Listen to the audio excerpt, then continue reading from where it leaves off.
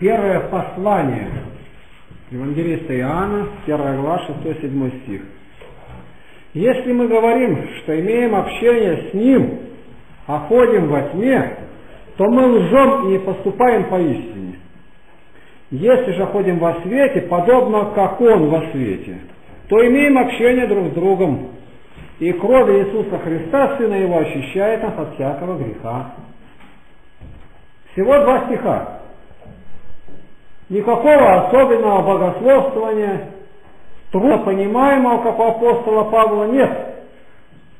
А когда начинаешь вникать, то эти места более всего непонятны. Вот скажи человеку, лжец спасется или нет? Все скажут, да нет. Потому что всякая от дьявола, и написано, участь лжецов в озере огненном, Откровение 21-27. Понятно. Так лжешь ты или нет, человек, ходящий в храм? Мирские люди делают исследования. И говорят, каждый в среднем в день лжет 200 раз. Ребенок маленький, мать спрашивает, вопросы дает, примерно 450 вопросов. Он познает мир. К ней микрофончики прикрепили. А где я лгу? На каждом шагу, если ты не христианин. Говорит, что если мы общение с ним, с ним, а как мы имеем общение с Богом? Его рядом нет, только в молитве. Отче наш, сущий на небесах. Считаешь? Да, но это и есть общение. А дальше говорит, если говорим, что имеем общение, а ходим во тьме, то мы лжем. А что такое тьма? Тьма это отсутствие света, так объясняют. Какого света? Вот потуши свет в темную ночь, и из собственной комнаты не выйдешь. Духовно точно так же человек может быть непросвещенный. Вот что говорится вот о законе 28-29.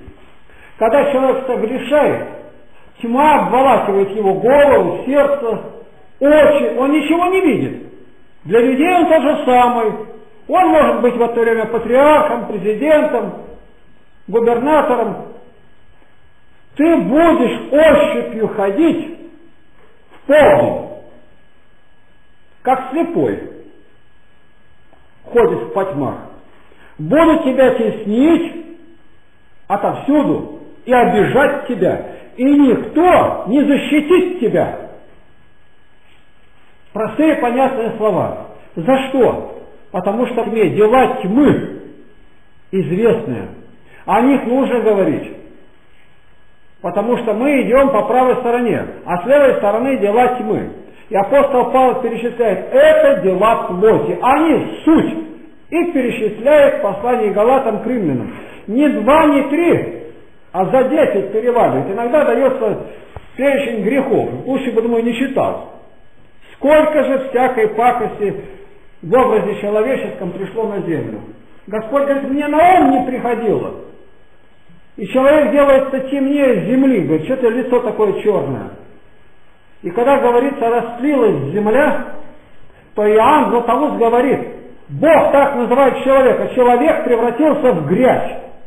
И Бог навел потоп. Имя человеческое осталось, а человека нет. И вся земля расслилась. Не земля это, не глина, не песок. Это человек. Ты прах и прах возвратишься. Иов 29.3. И я при свете его ходил среди тьмы. Когда Бог освещает сердце, вокруг одно безбожество – коммунистическое учение, а ты во свете его идешь. Ты все понимаешь, что делается. Человек во свете, он знает события, что дальше будет, как он ведет себя ребенок. Ты уже понимаешь, от чего это есть. Ты все будешь сводить к тому, что в Боге и не в Боге, во свете и не во свете. Ты желаешь все это знать, напрягись сейчас, выйди из этой тьмы. И скажи, Господи, дай мне сейчас памяти не, не пропустить ни одного слова, не спать, не дремать пришла в храм а уловить. Потому что человек в жизни, живущий во тьме, он никогда не попадет после смерти во свете. Это напрасное учение такое, что умрет, а за него будут деньги подавать, попы будут молиться, и что-то как-то изменится. Ничего не изменится. За гробом нет покаяния. Тьма, объявшая человека здесь, на земле, она переходит в вечность. Псалом 111.4. Во тьме восходит свет правым. Ну а если я уже натворил грехи, во тьме, то можно правду твори и выйдешь из тьмы. Если раньше вино пил, то теперь, говорит, воды до сыта не пей. И так в каждом деле. Ты ночь преврати в день, а не наоборот. Днем ложатся спать. А ты, говорит, день превратил в ночь. А ночь это тьма. Притча 2.13. Оставляет следу, след, след, стези прямые, чтобы ходить путями тьмы. От пути злого человека, от человека, говорящего ложь, избавь меня. Если он есть тьма, говорящая ложь, то и я тьма. Стезя прямая и путь, стезя зла. Я постоянно говорю, наблюдайте за детьми. Дети это наше отображение.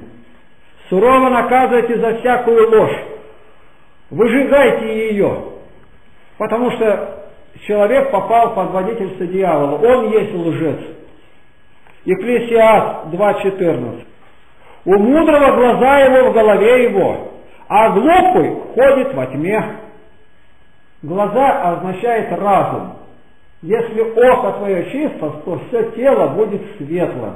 Ты знаешь, что делаешь, и все ради Бога. Ты все время будешь благословлять, и врага благословлять будешь.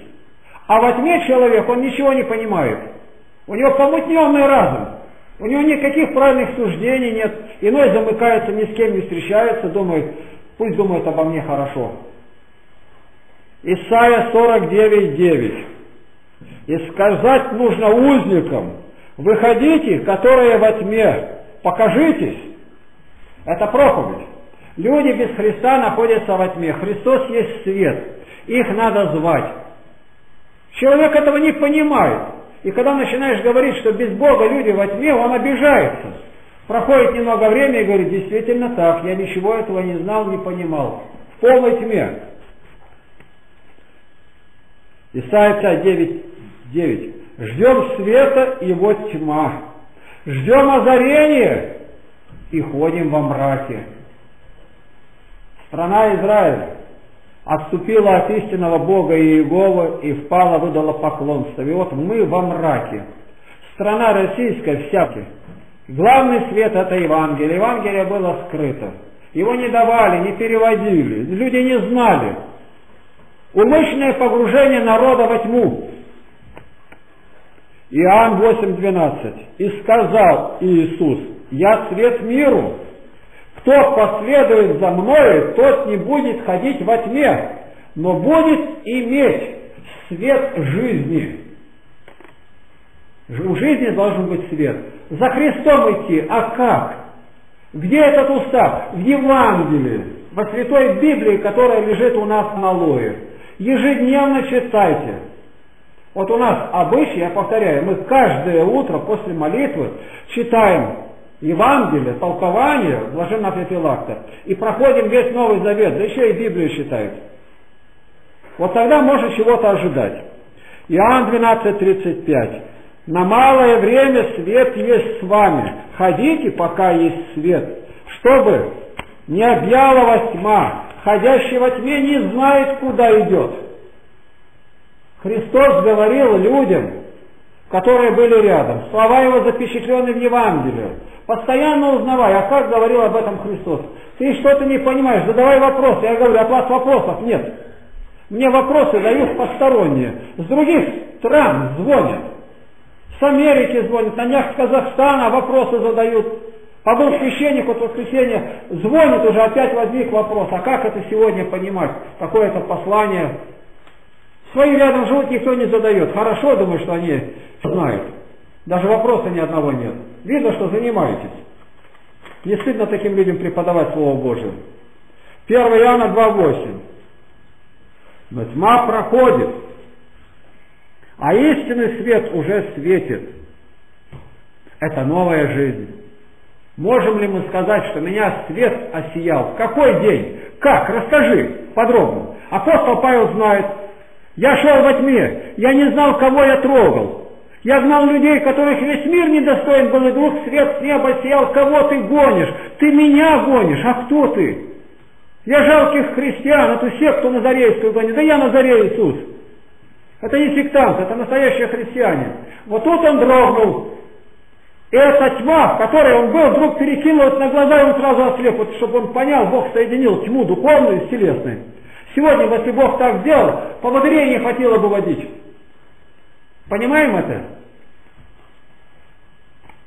1 Иоанна 2.11. Кто ненавидит брата своего, тот находится во тьме. Вот один из признаков. Мало приходят друг к другу, мало беседуют, не знают, не разговаривают, держат что-то на сердце, какая-то обида.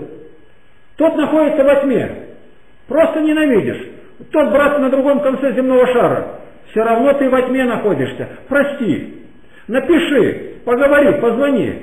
И не знает он, куда идет. Потому что тьма ослепила его. Не свет слепит, оказывается тьма. Такого выражения в науке нет. Свет яркий слепляет глаза. Оказывается, и тьма может ослепить. И тут написано так. Так когда мы имеем общение друг с другом, когда мы во свете, а когда человек злится, что он пойдет к нему? С кем надо иметь общение? Давайте этот послушаем.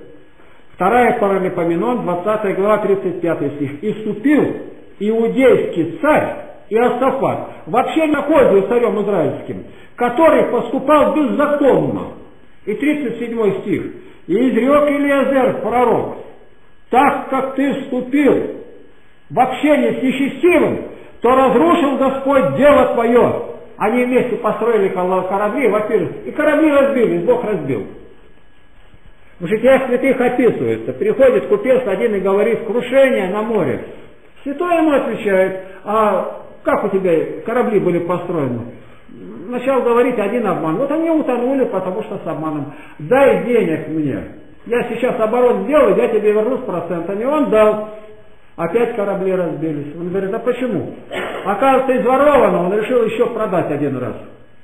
И тогда еще раз занял деньги. И Теперь уже я знаю, все должно быть по-честному. Закупил, продал, выручка полная была, все покрыл. Никогда нигде ни малейшей лжи не допускаю. Если чужая вещь у тебя, не знаешь, поищи хозяина. Подними ее, чтобы видели. Притча Соломона 3.32. Мерзость пред Господом развратны, а с праведными у него общение. Значит, общение имеет с праведными, а не с беззаконными. Потому что они мерзость перед Господом. Сегодня с кем дружбу узнай, как он живет, чистая жизнь или нет. Исайя 2.6. Многие переняли от Востока еще радейство, как сейчас, буддизм, йогу. И с сынами чужих они в общении. Проверьте, какие лишние, может быть, книги есть Этому ничему не надо учиться.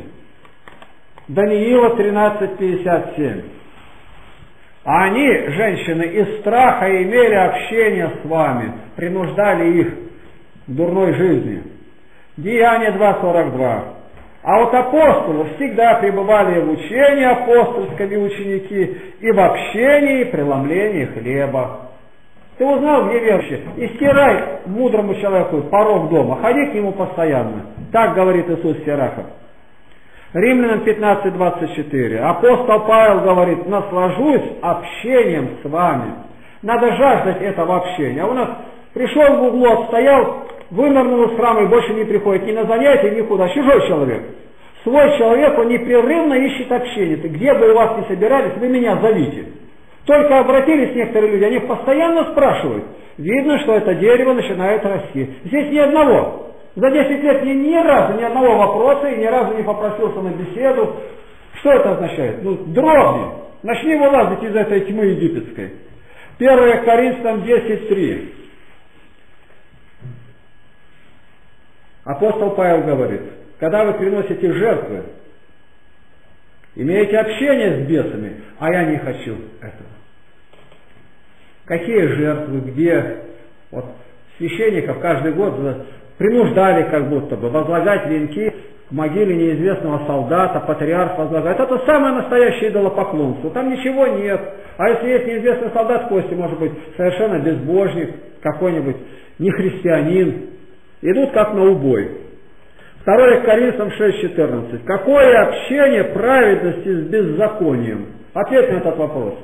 А Павел, Иоанн говорит, если имеем общение друг с другом, вот тогда кровь Иисуса Христа очищает от всякого греха.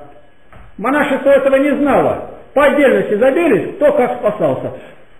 Иоанн говорит общение друг с другом. Дальше жить во свете Христом. Как? Во слове Его. 2 Коринфянам 9.13.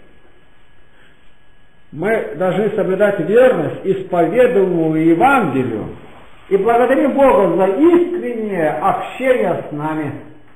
Павел благодарит всех, кто пишет ему письма, кто встречается, кто заботится. В Барнауле сегодня сестре нашей уже в годах Марии сделали операцию на почке. Только сейчас позвонила, чтобы все вас благодарили Господа. Утром позвонили, вчера позвонили. Помолитесь, помолитесь. Почему? А они знают силу молитвы. Филиппийцам 1.6. Филимону, дабы общение веры твоей оказалось деятельным. Не просто приходить, сидеть, говорить, а деятельным, на пользу душе, на пользу ближнему. И опять же Филимону пишет 1.17. Если ты имеешь общение со мною, то прими его как меня. Иногда мы говорим, вот такие-то люди приехали, мы знаем. Примите. Имеет, принимает себе всех, прибегает, у вас кто-то приезжает, а может, чтобы к нам заехали. Другой никогда не придет. Вы сами делаете это сравнение. Я с первого дня, когда обратился, 44 года назад, его звать Михаил, она Анна. Если в год приезжало 100 человек к ним в общину, то 90, наверное, были у них дома. Я с первого дня увидел радость общения с людьми. Во-первых, узнать много нового. Дальше. Радость общения устанавливается. Через них ты выходишь на новый этап. И я сразу помолился, Господи, дай мне такую жизнь, чтобы как у них была, чтобы у меня постоянно были люди. И практически у меня дверь не закрывается. Ни в городе, ни здесь. Постоянно звонят люди, спрашивают, об этом надо просить. Глухой не слышу, а люди идут и спрашивают. Я могу сказать, что Бог ни одной молитвы без внимания не оставляет. Тем более, если мы Ему скажем, Господи, мы имеем общение с Тобой. И поэтому сделай нас светлыми сынами. И чтобы мы не лгали, имели общение друг с другом, и чтобы кровь Твоя очистила нас. И мы светлые, убеленные кровью Христа, вошли в Царство Небесное. Аминь.